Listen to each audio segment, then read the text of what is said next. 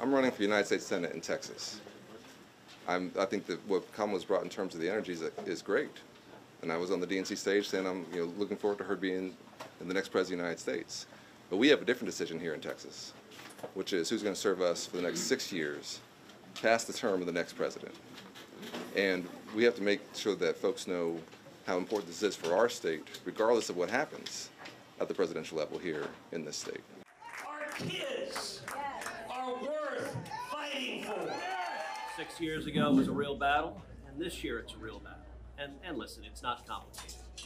If you are a hardcore partisan Democrat, after Donald Trump, there's nobody in the country you want to beat more than him. And so every wild-eyed liberal in New York City, in Chicago, in San Francisco, they give money to whoever's running against me. They hate Texas. They want to flip Texas blue. They know if they do, they take the whole country.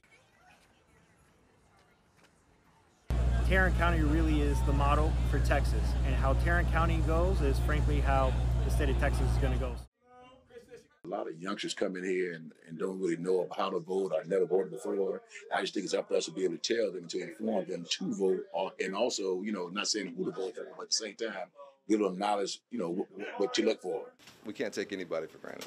And we can't think, you know, as a, as a black man, we can't think that, you know, just because of who your identity is or that anybody's just going to vote for you based on that or based on the past. You have to do the same thing we do for any group, uh, which is make sure we meet people where they are, talk about the issues that matter, and how we want to be impactful on those issues.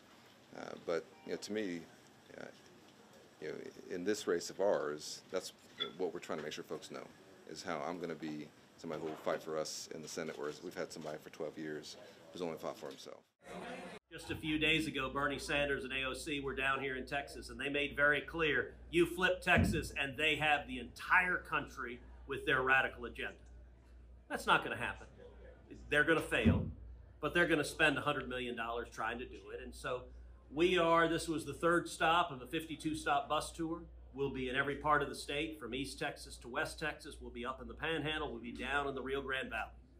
And it's all about turning Texans out to keep Texas, Texas. That's what the race is about.